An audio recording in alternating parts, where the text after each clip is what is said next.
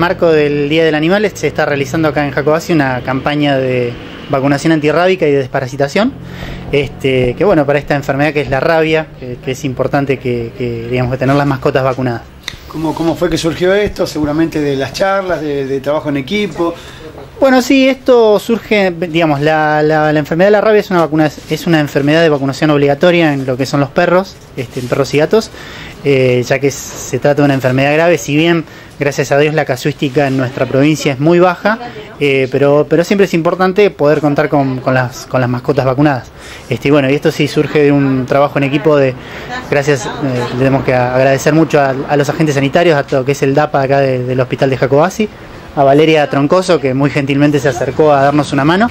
Este, y bueno, y, y, darle las gracias también a los vecinos de que traen, de que traen sus animales a, a realizarse la vacunación. Bueno, desde muy temprano esto significa también compromiso y responsabilidad. Más allá de esto que, decías de, la rabia, que si bien hay casos muy aislados en la provincia de Río Negro, siempre es importante la prevención, ¿no? Y sí, esto sí, muestra de eh, eso. Por ahí en la provincia de Río Negro no, no tenemos casos de rabia ni en perros ni en gente, gracias a Dios.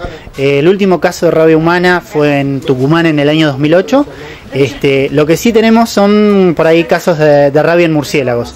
Entonces por ahí para, contarle a los vecinos que ante la aparición de algún murciélago que, está un poco tonto, que lo ven de día, eh, es probablemente que este murciélago esté enfermo.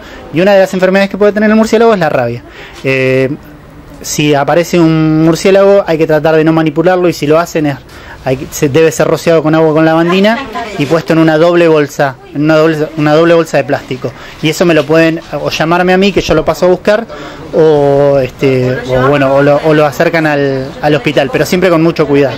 Bien, perfecto. Por último, ¿cómo siguen las actividades? Eh, bueno, la gente del DAPA siempre nos tiene acostumbrado ¿no? a, este, estos trabajos interdisciplinarios y bueno abiertos a, la comunidad. Creo que, este es el camino y el, y el objetivo central es esto, ¿no? Prevenir Para, para no lamentar Claro, claro. Sí, es laburar para la comunidad. Este, bueno, hoy, estamos de 10, vamos a estar hasta la 1 o hasta la 1 y algo, dependiendo del, de la convocatoria de la gente.